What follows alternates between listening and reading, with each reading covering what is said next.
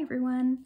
Uh, today I thought I would talk a little bit about trauma triggers, what they are, what their function is, and how we might be able to uh, support those around us who are activated or whose history is activated in the here and now, or how we might help ourselves.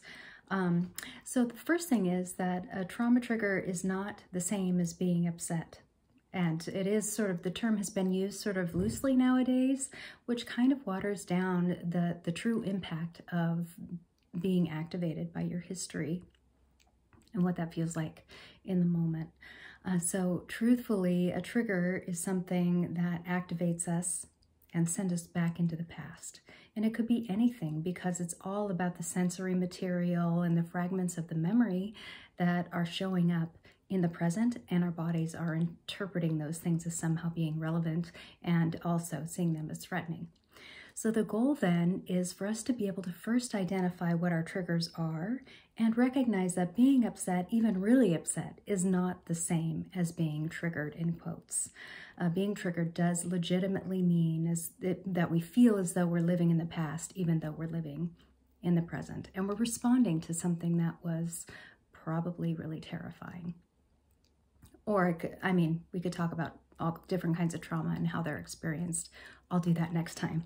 But for now, just the beginning is recognizing what our trauma triggers are uh, and giving them validity. So it could be a smell, it could be a color, a time of day, a time of year, uh, uh it could be any kind of sensation, anything that uh, relates to the past, to specific memories or cluster of memories and those things tend to send us back. It can also be interpersonal in nature in that, um, you know, a fear of abandonment. We might perceive people as threatening to leave when that indeed is not happening. Or um, we might feel very fearful of conflict and might be inclined to smooth things over or take care of other people or please people to avoid any kind of interpersonal distress. Those are some examples. So trauma triggers can be anything uh, and they're very unique and specific to the person and the person's value set.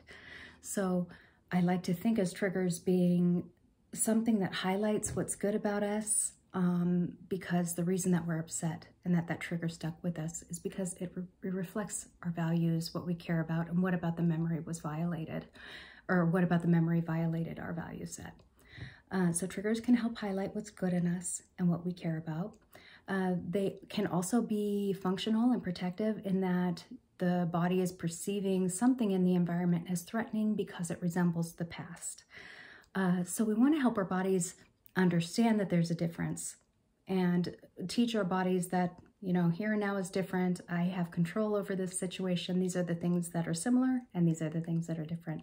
So having one foot in the past and one foot in the present while educating your body on the reality of the here and now can help soften triggers. But again, the first thing, the first step that we want to do in supporting those that we love or that we're coaching, etc., is to start by uh, educating the body on what the triggers are. And usually you can tell because they're disproportionate. It's a bigger reaction than uh, what is called for in the moment. That does not mean that the trigger is wrong or that your um, your response to the moment is wrong or that it shouldn't be validated. None of that is true. Rather, it's bigger, it's causing a larger response than what is necessary in the moment because in all likelihood, you're not threatened in the same way or your clients are not threatened in the same way that they were historically. Uh, so hopefully that's helpful. Um, again, just to repeat, first step, identifying what triggers are. We can do that by recognizing when our, our response is bigger than we think it should be or that what we would like it to be. That doesn't mean we smash it down or ignore it or judge it. We just want to become familiar with it.